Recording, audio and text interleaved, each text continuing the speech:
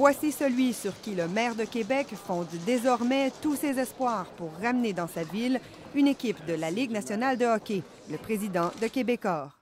Nous voulons aussi faire de cet amphithéâtre un lieu phare du spectacle, du sport et de la culture dont bénéficieront tous les citoyens de la ville de Québec ainsi que de l'Est du Québec. Je nous souhaite que vos discussions avec M. Gary Bettman connaissent un dénouement heureux parce qu'à partir de maintenant, je vous passe la rondelle.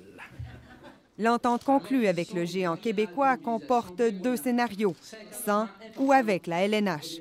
Pour les droits d'identification, le nom de l'édifice, Québecor versera 33 millions sans la LNH ou 63 millions avec la LNH. Elle paiera aussi un loyer annuel moyen de 3 ou 5 millions sur 25 ans.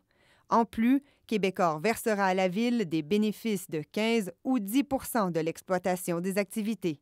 En ce qui me concerne, je pense qu'il est allé chercher la dernière scène en mettant en concurrence de grands groupes aux poches profondes. Mais pour le fédéral, ça demeure insuffisant.